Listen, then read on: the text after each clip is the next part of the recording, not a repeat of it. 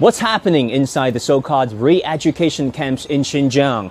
Was that a campaign of religious repression or an unprecedented effort of de radicalization? I don't have all the answers, but I want to find out. And we traveled across Xinjiang to track down some of the attendees in the program. we met 33 year old artist Abdul Zikari Albuli, who perfected his painting skills in the Re Education Center and now works in a gallery. We caught up with 30 year old Yurugu Yusam, who works in hospitality. We found 26 year old Rukia Yakub, who improved her Mandarin and now works as a real estate agent. And we met 23 year old Halanur, who became a cashier at a restaurant. A top Xinjiang official told us that by now all people have left the education facility. Now, looking back, one might think that much of the world has been against China's re education centers in Xinjiang, right? Wrong.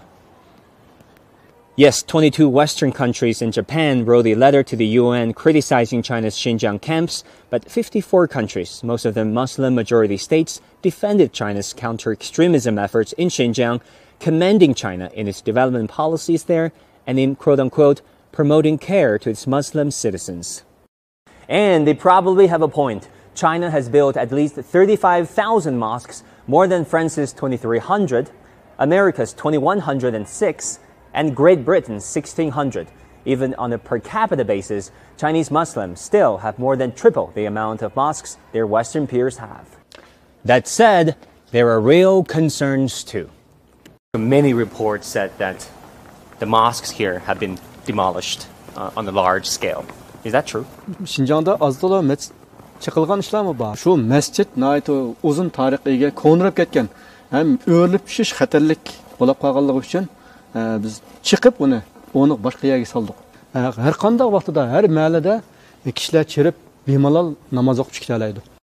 It's all about perspectives, and many people still have the impression that in China, Islamophobia is real and terrorism is not. I get it. I worked as a reporter in the US for the past eight years, and I fully appreciate the power of the Western narrative that highlighted so called ethnic repression and downplayed terrorism in China. Problem is, there is a double standard. For example, each time I question US officials about terrorist attacks in China, they usually came short of calling them terrorism until I pressed them hard after the 2014 Kunming train station attack. How does the United States characterize those attacks?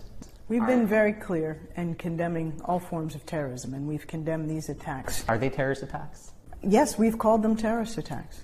Yet Western media did not follow suit.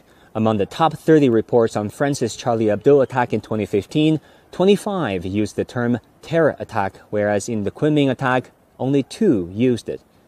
And in the rare event the phrase terror attack was used, it was put in quotation marks. But hey, China is not alone.